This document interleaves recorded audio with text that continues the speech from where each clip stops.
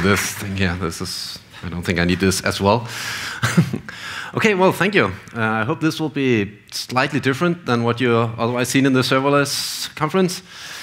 Because uh, in some sense, we're going to talk about the real serverless, as in you are offline, there is no server.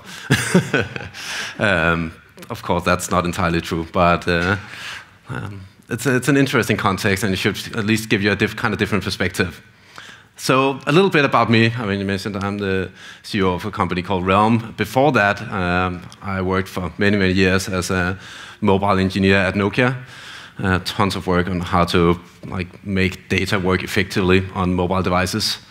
So I have like far, far too long experience with working on mobile, like pre-iPhone, back when it was like these small feature phones where you're all like working with these small displays and doing all kind of things. It's, uh, it's kind of crazy how much mobile have changed in, in, all these years.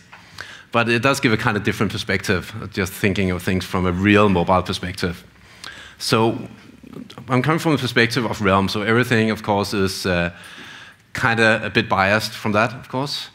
Um, so what, what is Realm? Well, Realm actually started as a mobile database. Right? It was a database that only ran on the mobile device, like something you use within your app, like replacement for SQLite and Core Data and all those things uh, that people use to build uh, apps. So we wanted to build like a real mobile, um, a real object database that worked. So that was hugely popular, and, and, a lot of people are using that. And we just recently relaunched a, a backend that, to mirror that, that allows you to like allow you to like synchronize your data totally transparently, just share data between devices and backends uh, in a transparent way. And that comes into what I'm going to talk about. Um, it, it's most of it is open. Like most of the whole platform is open source. Uh, you can go up. The whole database is totally open source. You can go on GitHub and download it, play with it. Um, it's very, very popular one of the, the, things that you probably see, since it's a database, is something that's kind of hidden, but it's really everywhere. I'm pretty sure that almost all of you are using Realm today in some capacity. I mean, we are everywhere. If you like, almost every like big company out there is using Realm in some capacity within their apps. So one thing that this gives us, it gives us really, really huge perspective of how people are building mobile apps today, what kind of problems they run into, and how they really want to interact with between the apps and their servers. So one thing we kind of come into is that, that serverless is great. I mean, you guys, you've seen like tons of talks today. You've kind of had this uh, the epiphany of how nice it is to be in this serverless world. And at least from our perspective, it's great for a few reasons. I mean, the main reason that serverless is so awesome is that it empowers the individual developer. Um, we see this especially in the mobile space where if you build a mobile app, it's really annoying when you, you want to have a new feature and you have to go back to your like your backend team and say, oh, I need this uh, new endpoint for my REST API before I can do something. And then you have to wait for them to schedule that, implement that, and uh, start all over. It, it, just slows down the whole process. If you can be the, as an individual developer, if you can just build things yourself without having to really interact with the backend. Uh, if you can just as, as use the same models, the same language as you're doing, and you can just say, oh, I want the backend to do this, and you don't have to work with the backend team, that makes a huge, huge difference. Um, and it just may allow you to build apps so much faster if, if you don't have this split basically between the, the front and back end. So the cool thing about serverless is that it just gives you this Uh, as the, always the, the, oxymoron about serverless. Of course, it is a server, but as a, from a developer's perspective, it's not something you have to think of as a server. It's just a service that you oh you can just update it and you can make it react to your changes. You can have like all the triggers and stuff to, to do stuff when you change things.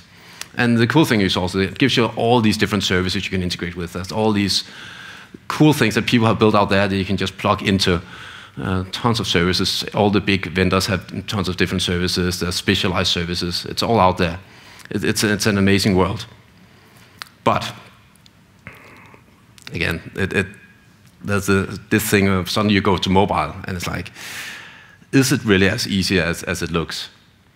And you say, well, why more? Why not just say, well, I see a lot of the talks here where there's a lot of talk about the um, people. A lot of people are still kind of in the web perspective, but I mean, if you look, everything is moving to mobile. I mean, these are kind of recent stats of how much time people spend online and how it, it's in, uh, developing. And as you see, the like the, the time people spend in, in the browser is, stays pretty stable. It's about this has doesn't have that much development. But the large majority of people's time, which is really what counts, is spent in mobile apps. I mean, not in the, in, in the browser on mobile, because that's counted as well here, that's the, the, the, yellow bar, but actually in actual apps. That is really the majority of the time, which means that if you want to capture people's attention, you really have to be in a mobile app. Um, but building mobile apps is very, very different from the web. I mean, there, there's fundamental differences. And the main thing that comes in is this that First of all, mobile networks has much higher latency than your local connections. Um, it's actually, you'll, if you actually measure it, you'll be really surprised how high the latency is. Because every single round trip goes back and forth. It has to go over all these networks and all the, the wireless, the cellular network. And a single like HTTP REST request can take up to half a second uh, if you're on unlocked. But that's even on a 4G network. So being in that voice, when, when you, that really affects how you build your APIs. Because if you have like these kind of long sagas of like multiple REST requests before something happens, I mean, that, can just slow down to a crawl when you're on a mobile network. And we're even talking about good mobile networks because most mobile networks have great bandwidth today. So you can stream data great. That's, that's awesome. Uh, but the moment you, you do like a lot of back and forth, like all these REST calls, things can just slow down to a halt. Um, so, so that's one thing to be aware of also the, really big thing, of course, the almost like the defining feature of, of mobile is that you can you can risk connectivity gone anytime. And not only it can cut off, which you will see. I mean, anybody who's been in the train, on the plane, or just driving outside the city has tried that where connectivity just goes. But even worse, it goes kind of up and down. I mean, you have connectivity, and sometimes it's fast, sometimes it's slow, sometimes it kind of goes on and off, like intermittently. Sometimes it's perfect, and sometimes just totally gone. And you can just not count on connectivity when you have a mobile device. And that is kind of the, the nature of the beast, right? It's the, the, almost the defining feature of being mobile. It's just that sometimes you're available, sometimes you're not. So in, in many ways, you can think of that as just as, as a different aspect of latency. It means that sometimes it's going to take a really long time to get a, a reply. Sometimes it's going to be quick. And you can't really predict which part of it is going to be. And then the last thing that really surprises many people when they start building apps is that your app can be shut down and restarted at any time. I mean, especially on Android, you will see that if there's a high load on the memory, uh, and you'll see that on, on, many devices, especially in Asia where people have devices with very little memory, it'll just shut down the app all the time and, and then restart it. Um, so, I mean, you just swipe away from, from the app and it gets shut down, and you swipe back and it's restarted transparently. But what happens if you are in the middle of a REST request while you're doing that? Because uh, you're doing stuff. It's, it's really, I mean, that, that gets troublesome. So, so what you see is that protocols like REST gets really brittle and cumbersome in the mobile world. And I mean, our experience is, I mean, we've seen, again, many companies that it works fine to begin with. I mean, you can build an app, you'll do all the, everything works perfectly because in, when you're testing in your own lab, you have perfect connectivity. The app is, of course, running, it's running and, similar, everything just works.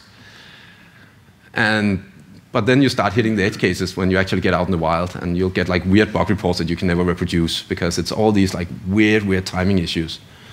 And I mean, what, let's, to give like a simple example, like think of, you want to build, uh, you're in like in building a retail app and you want to build like a, a buy button. You're, you're in your shopping cart and you want to build a buy button. So the first thing you say is, okay, somebody clicks the buy button. What happens if you don't have any connectivity at that point? And you're like, hmm, oh, that kind of sucks. I still have to buy at some point. So maybe you'll queue up the, uh, the request. Say, I'll do it later. So you have to like code up, you build a queue. And that's fine. Then you think, oh, actually, the app could get shut down. So I have to persist that queue as well. Because otherwise, you'll lose it the moment it gets shut down and, and up oh, more code. I have to like persist that stuff.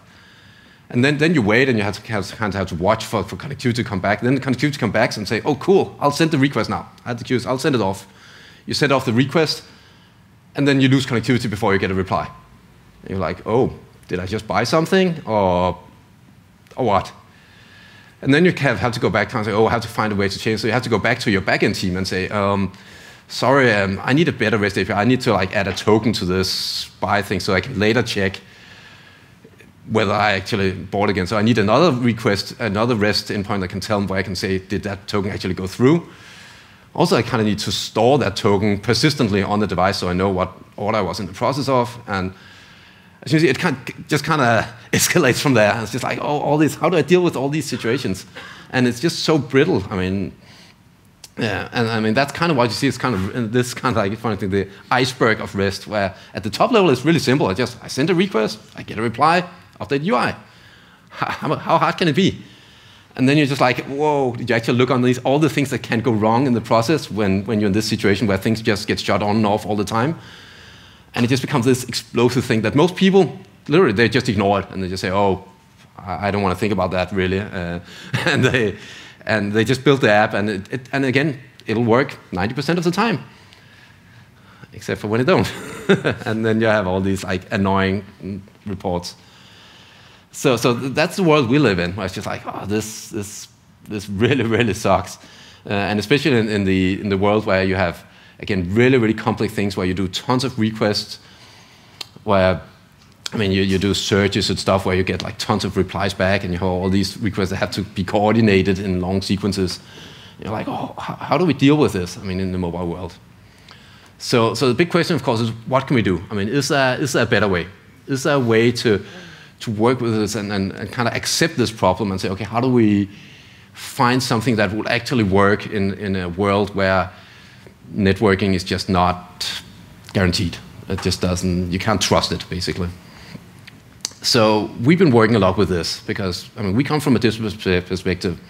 We came from the from a database perspective, or even from, I would say, from a data perspective, because we're we are a database, but we're very different from every other database out there. We're really an object database, which, which is so close to the language that it's even hard to call a database. It's just objects. And the fact that they can be persisted and queried and all the things you do with a database is kind of like a side benefit. So when we think about this, we say, okay, what is it really we want? I mean, we're, we're connecting to this server, and we want to do something together with the server. So what is it really we want? And really what we want is we want them to just be able to share some state in, in, a, in a manner that's kind of independent of, of connectivity.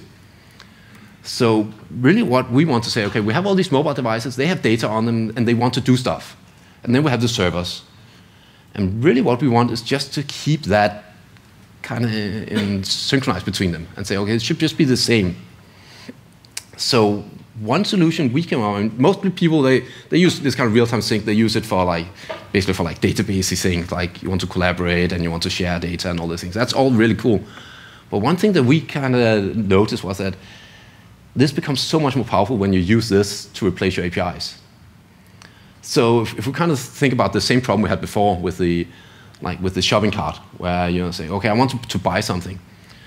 If instead of saying, oh, I have all these REST APIs I have to connect to, the, the, thing, the other thing you could do is you can just say, okay, I have some shared data with my, my server. What if I just post an object to that and the server can react on that? So in this example, I could do this simple thing where I say, oh, on the mobile side, I just post, uh, like create a new object, a buy object, saying I want to buy something that has a link to my shopping cart, which is also just an object, of course, with uh, all the stuff I want to buy. And just say, well, I'm not doing anything, I just create this object. But just like you with uh, all the new, again, serverless frameworks like Lambda and Azure functions and all these things. On the server, you want to be able to react on things, to be triggered by, by events that happens out there. So the first thing that happens, of course, is that since this is real-time synchronizing, on the server, you see the same object pop up. Just like Bing, this, you have the same object on both sides, just transparently. But the moment this point pops up, you can run some code over there say, I mean, it can react on it and say like, it's like, bing, oh, this triggers an action. In this case, since we're in a shopping cart, that action could be, uh, let's send a request out to Stripe to actually process the user's credit card and everything. So it's just happily going around. Let's no, notice that uh, while it does that, it, it, can update the status to say, now I'm processing this. And since this is kind of magically synchronized, it, it goes right back to the, uh, to the object in the, on the mobile device, which again is also reactive, so you can just connect that directly to UI. So as a developer, you don't even have to update the UI. It'll just say, we'll just show the content of that object. And that's pretty nice. And just oh, we're, we're processing. And while, while this happens, you can have like connectivity goes, oh, that kind of sucks, right? But doesn't really do much of a difference. You're just not going to see any updates on the mobile device. Uh, you could also actually have that, again, the app gets totally restarted, gets shut down and, on the mobile device. And it's like, that kind of sucks. But even while this done, you see on the, the server side, the status change is done. It's like, oh, Stripe re re returned the reply, and yeah, the, this, uh, like the order went through. It's perfect. So uh, at some point, the, you get connectivity again, the app gets restarted, everything, and it just synchronizes back, and you get the done status in, in, the app. So in this way, you kind of you abstracted away all the networking, all these problems, like the, the whole thing, and not just the all these issues of going online, offline, shutdown, up, down. Also the should I pass all the JSON? How do I handle networking? It all just goes away. All the, the developer, he only did two things. He created an object and he connected that to UI. That's all. And it just works. And on the server side, all they did is he went in and he created an event that says, oh, when an object has been added, run this code, like just some JavaScript code, connect to Stripe, process the order, and, and update the object in return. And that's all. And you kind of removed all these problems. So in this way, you kind of you put yourself, kind of proxy it, or like put yourself in between all the between the mobile device and all the troublesome backend APIs that was not designed for mobile. And you just simplify the whole architecture in this way and just make it really robust and hardened against all the, the issues you have in the mobile world. So it's, it's like a really, really simple mental model of doing it, but it has fascinating effects. And there's a lot of, of side benefits you get from this also because since the server knows everything that's on the, on the client, it can also optimize in the sense that it doesn't, it never has to send things twice. I mean, this same one, as you see, that's kind of like a link to order info. It can have like a long list of all this, like what, what's the status on the order. I think you can just keep updating the object.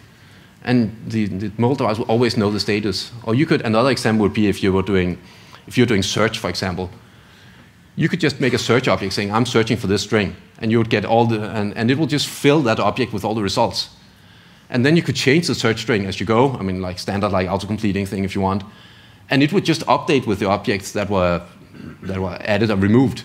But it wouldn't have to resend the same objects again and again. Because again, it knows the state on both sides. So it basically can work kind of like a small CDN, just optimizing the network traffic, which is really, really effective. Um, so I'll show you a small demo of this. Um, if we have the uh, demo guards working with us here. Um, so what we have here is a, a, a very simple app. Uh, I'll show you, have the app running here, so you can see. It basically looks like this. It well, doesn't really look like that, right? but I can help that. Let me see if we can. Here we go. We're sneaking in. Okay, here we go. So this is an app. It's running in the simulator, of course, but it, it, that's how it will look on a mobile device. And let's see if we can make it even more fun to show the actual code as well, and that is in that app. Uh, we are, this is a bit harder than you would expect to drag this thing in, but okay. So this is the code from the actual app. So what, what we're seeing here is the, the data model. So this one is a small scanner app. So it, it can basically scan and recognize text is the idea uh, by using uh, like an external serverless service. Um, so it has a, this is a class, uh, just a simple object that has this a scan, it has a status, it has some image data. Uh, and the idea, of course, is that we want to fill that in, and we kind of want to fill it, fill it up when you, when you do something over here. The interesting part is that on the, on the server side, we have something responsive, the same thing, basically. Uh, let's move that in here as well. Happening. Here we go. So this is the, the corresponding code on the server side, which is JavaScript code, the response. So this is uh, basically a notification callback that say, oh, when this, this object changes, give me all the object label scanner objects which has a status that they are uploading, and then it'll change the status to processing, and it will after this it'll do a lot of stuff. It'll just contact all the stuff you have to do to contact Google's uh, image scan API, basically. Um, so it just do that, and when, when it has, then it'll process the whole thing, and when it's done at some point, it'll just update the result with, with both with the result of the scan and of course the status.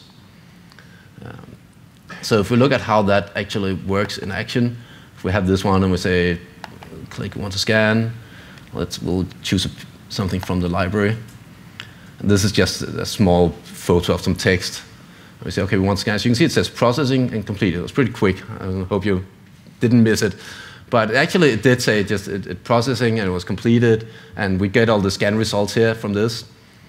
And of course, the thing is that it's very, very, very simple use case. It's just calling out to an external Google's API in this case. But again, this one is totally protected. Again, you could have lost connectivity at any point in time. The app could have been shut down and restarted, and it wouldn't have you wouldn't have to do anything. And if you look from development perspective, if we look at the the code here, the the actual code that the developer has to write is minimal. Uh, it's a bit hard to see from this angle what I actually should click on. Uh, but basically, when, when you do this, you just use what's in, in iOS what's called KVC, which is uh, a KVO, which is basically allowing you to observe objects. It's just a standard language feature. It's not even something that's specific to the database. You just observe that object for changes, and it just say, oh, every time this object changes, this called observe value, call this callback and update the UI. So it's extremely simple. There's, again, there's no networking code on this, the client side on the mobile device at all. It just works. Uh, so, so I think it's something that you should consider, not necessarily doing like this, but just think about, okay, every, all of you who are building serverless services, give it the extra thought and say, okay, when we are on mobile, when, uh, when our users are on mobile, how are they going to interact with this? I mean, how are we going to protect them so that no matter what happens in the app or, and with the networking, the connectivity, how do we ensure that the app still works, that it doesn't break in all kind of unpredictable manners? And so it's not just, because that's just a really bad experience, of course, for everybody. Let's follow this in. So, I mean, there's a lot of use case for this. I mean, the, the, this idea of having shared state can, can be used to all kinds of things. The, the most obvious one, of course, is just sharing data. I mean, uh, I think some of them come, came by our booth and they kind of saw the, the demos we have of, of doing collaboration where you can have like live shared data. I mean, that, that's awesome in itself. It's kind of an obvious thing, and you can you want apps to be live, engaging, and, and you can like play with things, and it feels real instant and real time. But that's just one thing. I mean, the, the the API bridging is actually really, really important. This idea that you can access the whole world of APIs out there in a manner that's just safe and, and extremely easy for the developers to work with. Uh, we have the same thing with connectors where you connect, you basically connect to existing databases, which is also if you have like database as a service, you basically can make a connector say, what if we could just expose that as objects? And so you don't have to have any kind of calls back and forth. It all just works. Uh, and then you want, of course, you want to be able to push data, you want to be able to stream data back from the devices. But that's all the same. It's either like putting objects in on one side or putting, putting objects in on the other side. So basically, you take all, all these seems to very separate things, and you can just generalize it to one single concept. So the developer only has to learn one thing. It's all just objects. We can't have this thing where we can't say objects all the way down. That's kind of it, it makes really, really simplifies the whole stack. And so the, the, what are the key benefits? Of course, the key benefits is this that you abstract away the networking. I mean, that is really, really huge. You don't have to think about it. It's not something you have to worry about. Uh, it just works. Uh, networking basically don't exist for you. You just work with objects. And also this really cool idea that you have this unified data model, that you have the same objects, you have the same reactivity, like the ability to observe and react to changes in objects. You have that both on the client and on the server. So it's just like one mental model of how you work with things. Just makes just like you really like to have the same language on both sides. It's like that's why Node.js is so popular, right? That you can kind of have just one language. The idea that you can have one data model and one way of interacting with it is really powerful. And then this cool thing that you can actually just bind, when you have objects, you can just bind them directly to UI. So that also just removes like tons of complexity. So to summarize, I mean, the, the, whole thing, just the first thing to learn is just say, oh, mobile is really different from the web. It's just a different world. You just have to think about things in a different way. The fact that you have high latency, connectivity that's unstable, can just go, come and go uh, as it, as it happens, and apps that can just get restarted anytime. Like, it can happen constantly. That's just a, a different world, and you kind of have to get used to that and say, okay, how do we, how do we deal with this? Um, and that's the world we've been living in for many, many years now, where you just, you just say, okay, how do we deal with the, all these small problems? And it is really dangerous. If you just build apps the way you used to build, again, they will work to begin with, and then you'll just get start hitting the edge cases when you start getting lots of users, and you start getting to like Asia, where they have all kind of weird devices that has uh, small memory and small processing, and you're like, how, how do you even start debugging that? Uh, it gets pretty horrible. Uh, and just, I mean, the, the, whole idea of doing API calls is just brittle when you're in that kind of environment. So you really want something better, uh, something else. Um, shared objects is one way. There might be other ways, but it's definitely something you want to keep in mind. Like how do, how do you build APIs for that? Um, so, so we think the right solution is just to say objects are the new API. It's, it's such a simple model. I mean, you just post objects and you can react on them, and you can do anything any REST API could do, anything, even something like GraphQL could do, everything. It's just, it's just objects, simple. Um, so that's pretty much it. So if you have any questions, there is one down there.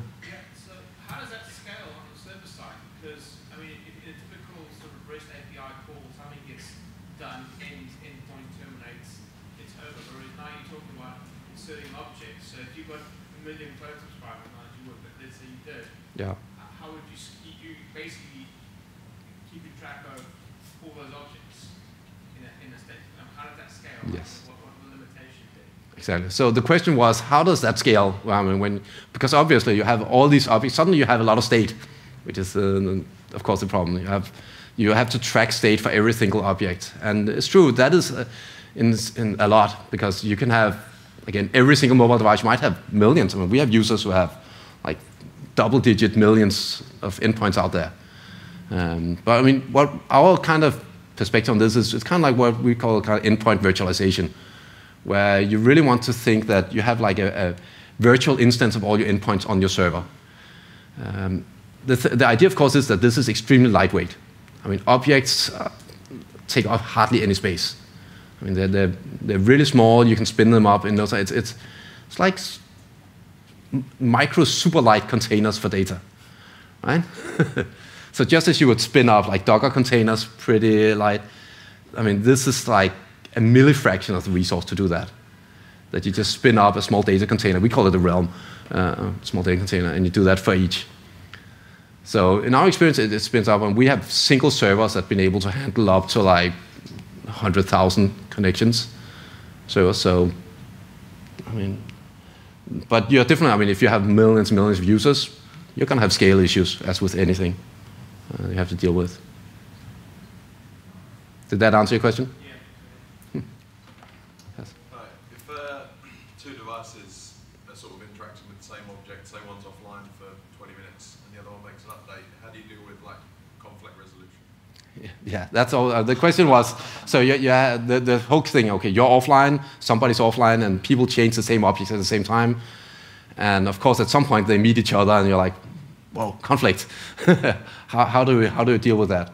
So that, that is actually the main thing we deal with. And if you say, okay, what, what was the reason of existence for Realm, part of it, is this idea of how to deal with conflicts. Because that is the reality, again. It's, I didn't go into that part, but that's the other thing. The consequence of being offline, and even just the, the consequence of having high latency.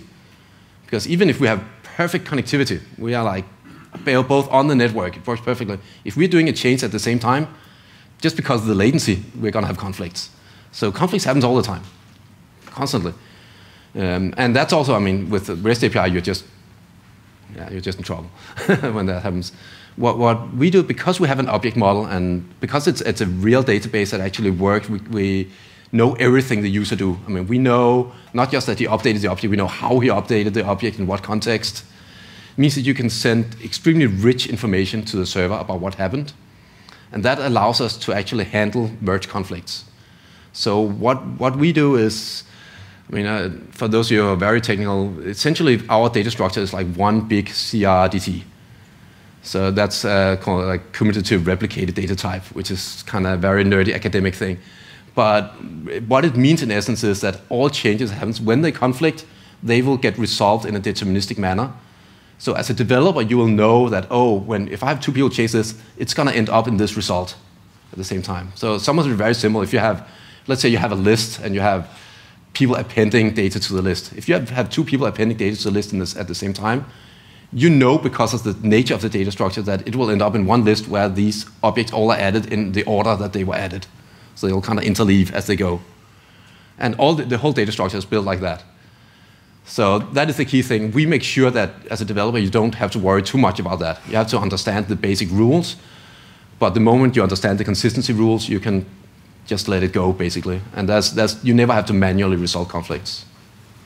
Did that answer your questions? Yeah, uh, if somebody, everybody wants to go deep into it, I'm, i mean, you can come to our booth and I'll be happy to talk for hours and hours about that kind of thing.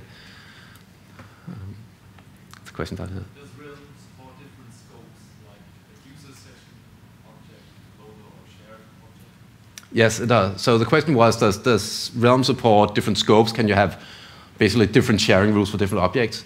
And it does. I mean, the, again, think of the realm as a, as a, mini data container that you can spin up as many uh, of as you want. Uh, you can literally have millions of them.